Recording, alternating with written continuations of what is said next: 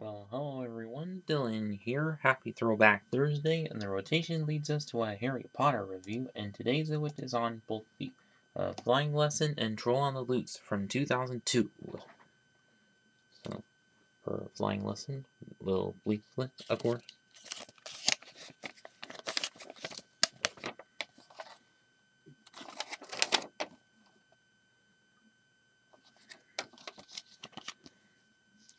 So on on the Loose, same border as from the year prior, so year after, but still Sorcerer's Stone, of course. On the back, ad for the PC CD-ROM game, and then a few alternate builds for the set, of course, and the last building step.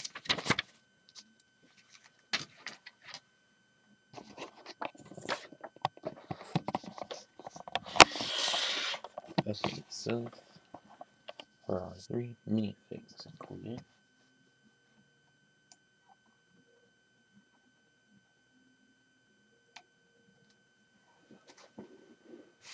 Oh, it's being so there's two different Harrys here. Well, one of which for Troll on the Loose and one for Flying Lesson. But besides that, the there's one thing the torso print or torso print kind of different for it since you know wasn't uh, or because you know different points of the film of course and the last of which is Draco Malfoy. Same as from uh, Hogwarts Castle in from the last from the year prior of course. But of course this is a much much cheaper way to get him obviously. And all of which do include the starry capes, or starry capes, like oft did before, but whereas Draco Malfoy, which holding the Remembrall, which is just a regular minifigure head with this little pattern on.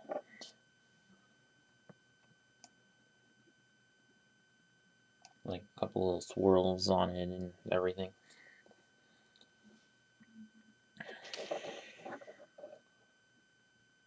which is kind of cool for that. Although I think, of course, missing a few little, or I think also they should have put some red or orange on it, since in the movie it kind of turns red orange.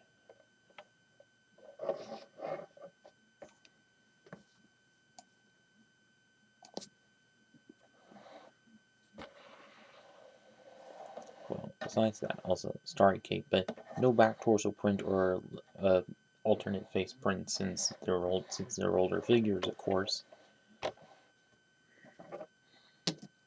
And now onto the troll, which for troll on the loose.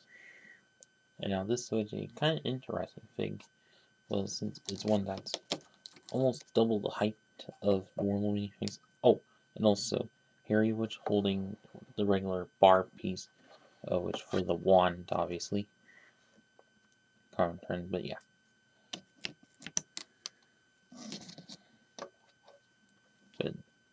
Also kind of double height of the normal one. But also what's kind of interesting, where it has actual cloth clothing pieces used for this upper vest and for the loin cloth underneath and quite lumpy underneath and it fits on a few studs of course. Yes, and unlike most big figs, you can attach a head on top and the neck which kind of different than most minifigure necks of course whereas one arm is fixed in, but the other one kind of moves up and down. Would have been better if both arms moved around. And of course has this little clip here that that can hold above and since of course in the movie Ron of which using some levitation spell to hold above it and drop it right on and of course.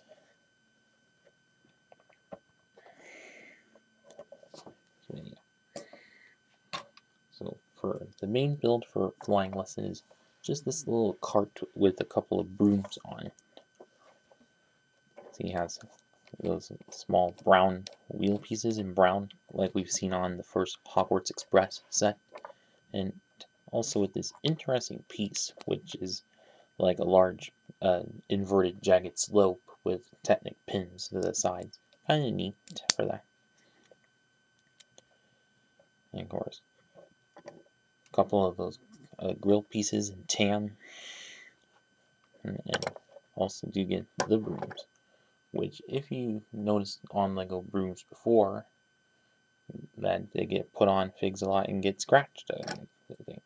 Well, like most minifig things do.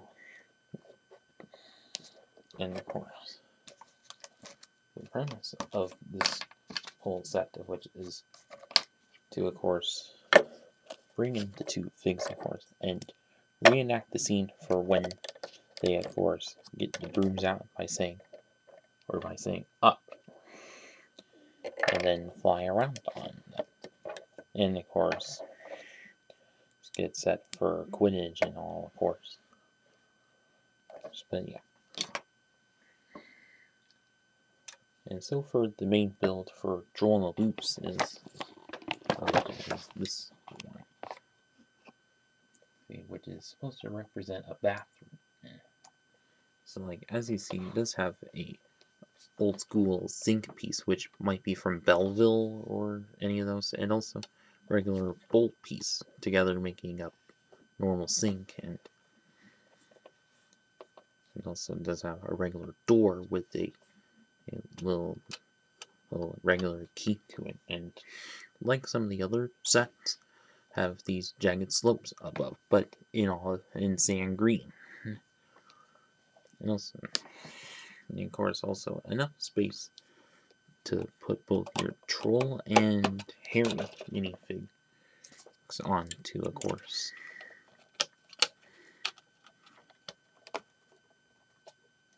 And above of which is this little thing that holds a pair of bricks on or one by one bricks onto it, which since of course representing all the destruction and whatnot, but, but really Lego, why not make it like use studs or tan studs as well, also representing that. But also, kind of, what's kind of a bummer with this is you don't get Ron and Hermione in this one, since of course in this scene, Ron gets up on the troll and of course uses this bell to raise the club and all. But besides that, and above of which is this little archway that holds these uh, pair of flames on top, and also the classic jack-o'-lantern seen in some old, other old sets. And if you look from the back, kind of vacant, but although this is of course meant to be another section of Hogwarts that you just plop into it, which I'll do in an upcoming video, obviously. Video. So for the final verdict on these two.